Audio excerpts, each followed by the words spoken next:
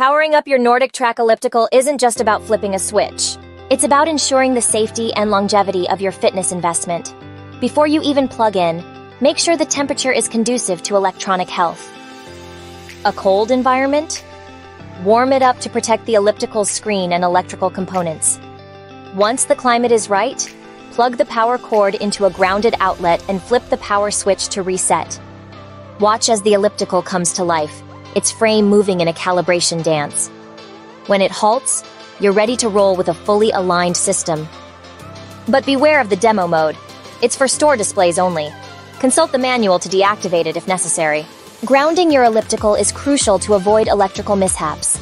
Use the grounding pins provided with the power cord and connect to a properly grounded outlet.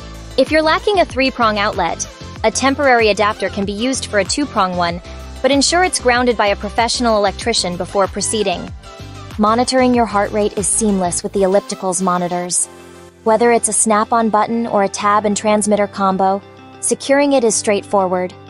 Just remember, the monitor must be in direct contact with your skin, positioned below the chest for accurate readings. Adjusting the pedals is a breeze.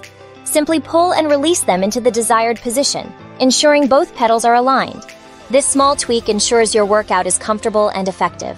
The full-color touchscreen console is akin to a tablet, intuitive and responsive. Swipe through options with ease, but remember, pinch to zoom gestures are off the table. Typing is a tap away, with additional characters hiding behind the Alt button.